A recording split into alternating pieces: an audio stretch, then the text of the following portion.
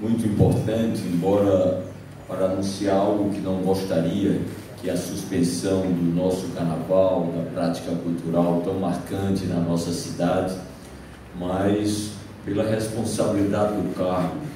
e pela abertura do diálogo, eu posso dizer que esse momento é importante.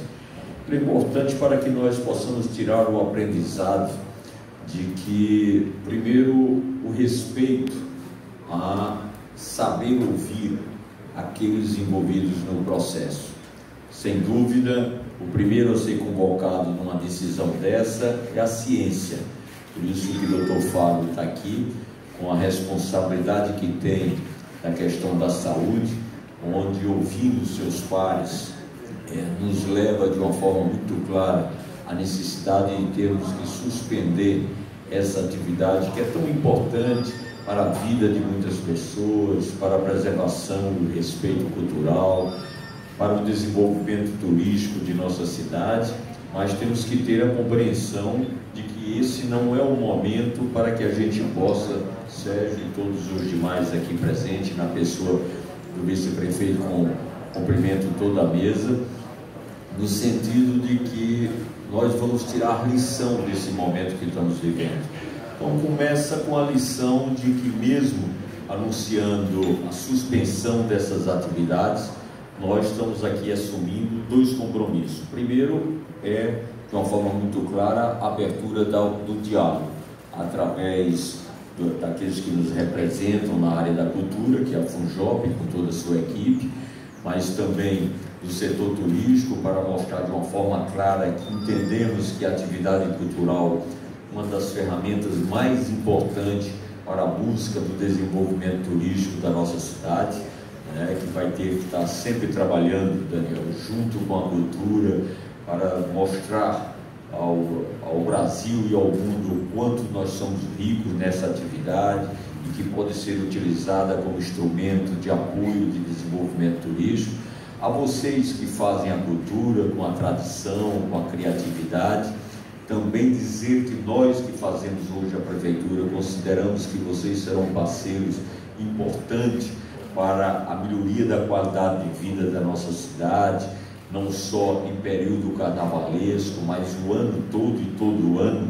né, no sentido de que possamos fazer atividades em datas marcadas, mas também estimular a convivência, a vivência em vários bairros, com várias atividades, que é aquilo que nós consideramos importante e fundamental, inserir também no berço da nossa educação a, a cultura, né, para que seja através da banda de música, seja através da dança nas nossas escolas, seja através da arte também levada às nossas escolas, a gente possa preservar isso de uma forma muito mais concreta, mas sempre com abertura do diálogo, do saber ouvir, saber escutar e poder apoiar. Então, eu quero dizer que, embora fique triste pela suspensão né, de algo que gostamos tanto e que é tão importante, mas vamos tirar lições também desse momento. E como disse o professor Marcos, embora não haja concentração do carnaval, mas vamos estabelecer um calendário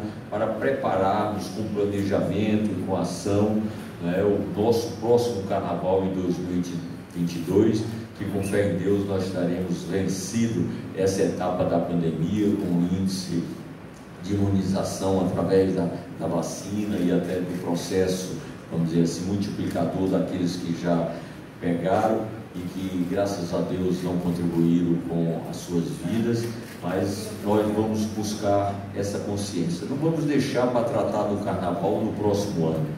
Vamos tirar essa lição e já preparar o carnaval do próximo ano a partir de agora com essa, esse novo marco e essa nova forma de um planejamento, com diálogo, com apoio, com oficinas, com ações, para que possamos ter um bom carnaval. Então, na verdade, esse momento que pode parecer um momento de tristeza, mas vamos tirar essas lições e construir um grande carnaval para 2022, onde tenha como marca maior a preservação, o respeito e o diálogo e a parceria entre vocês que fazem verdadeiramente o carnaval da nossa cidade e um poder público que estará atento tá certo? E parceiro da busca desse objetivo. Então, de uma forma muito rápida, clara e objetiva, era isso que nós temos que comunicar a vocês e agradecer a compreensão, né, que não podia ser diferente, de vocês que fazem o nosso carnaval em todas as matrizes, que com certeza nós vamos estabelecer esse trabalho e esse diálogo. Então, meu muito obrigado. Lamento estar declarando que nós não vamos ter o carnaval, mas também tiro a lição de que nós vamos fazer o carnaval 2022 planejado, trabalhado, dialogado e que vamos comemorar dobrado, se Deus quiser, no próximo ano. Muito obrigado.